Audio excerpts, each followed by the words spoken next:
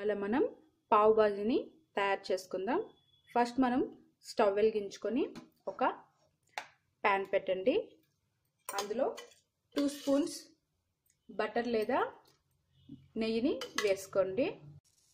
తర్వాత three టమోటాస్ని cut చేసుకొని వేసుకుందాం.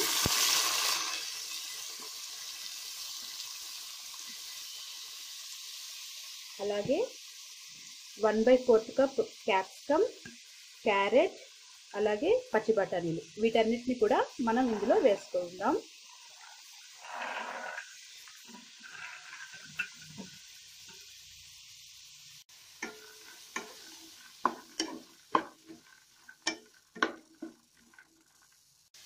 ఇప్పుడు ఇందులో హాఫ్ కప్ వాటర్ వేసి మనం పది నిమిషాల పాటు ఉడికించుకుందాం. పది నిమిషాల తర్వాత ఇవి ఉడికిపోయి ఉంటాయండి. ఇప్పుడు వీటిని ఒకసారి మనం మ్యాష్ చేసుకుందాం.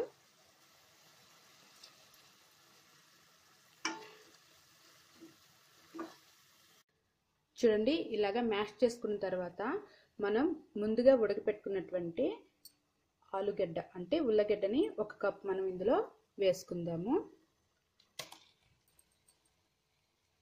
అలాగే టూ స్పూన్స్ కొత్తిమీర వేసుకుందాం.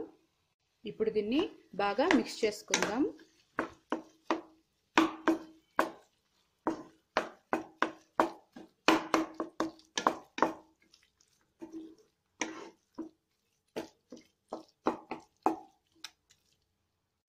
ఇప్పుడు ఇందులో half spoon salt one by fourth spoon పసుపు అలాగే వన్ స్పూన్ కారం one spoon kasuri methi one spoon pav bhaji masala. ఇది మనకి మార్కెట్లో దొరుకుతుంది. వీటన్నిటిని వేసి బాగా మిక్స్ చేసుకుందాము. ఇప్పుడు ఇందులో మరికొద్దిగా వాటర్ వేసుకొని బాగా మిక్స్ చేసుకుందాం.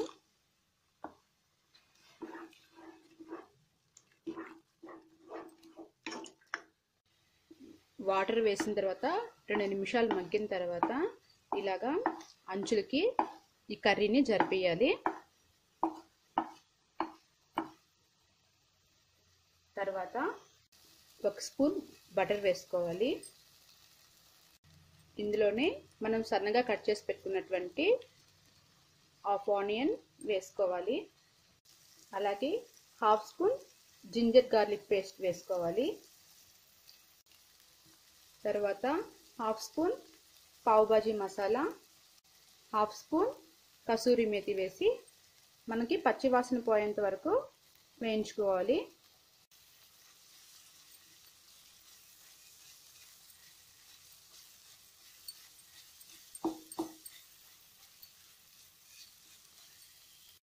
దీనిని మనం తక్కువ మంట మీద చేసుకోవాలి. లేదంటే కింద మాడిపోయేదానికి అవకాశం ఉంటుంది. ఆనియన్ వేగిపోయిందండి. ఇప్పుడు అన్నిటిని కలిపి బాగా మిక్స్ చేసుకుందాం. చూడండి బాగా మిక్స్ చేసుకునేసాము. మీరు ఇంకొద్దిగా పలుచగా కావాలనుకుంటే కొద్దిగా వాటర్ వేసుకొని కలుపుకోవచ్చు. మనకి ఈ కన్సిస్టెన్సీలో సరిపోతుంది. ఇప్పుడు స్టవ్ ఆఫ్ చేసుకునేద్దాం. చివరిగా ఇందులో కొద్దిగా లెమన్ పిండుకొని కలుపుకుంటే సరిపోతుంది. మళ్ళీ స్టవ్ వెలిగించి ఒక ప్యాన్ పెట్టండి. ఇందులో హాఫ్ స్పూన్ బటర్ వేయండి. ఇందులోనే కొద్దిగా పావు భాజీ మసాలా కొద్దిగా కొత్తిమీర కొద్దిగా కసూరి మేతి వేయండి. మనకి పావు బాజీకి ఇలాగ బన్స్ దొరుకుతాయండి ఇవి మార్కెట్లో. వీటిని హాఫ్గా కట్ చేసుకొని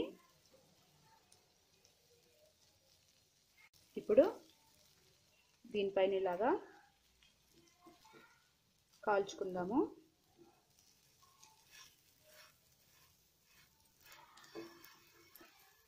మీరు కావాలనుకుంటే ఇందులో చిల్లీ పౌడర్ని కూడా వేసుకోవచ్చు.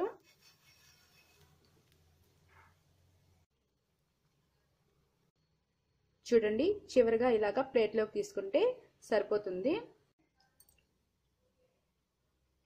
Thanks for watching please subscribe to my channel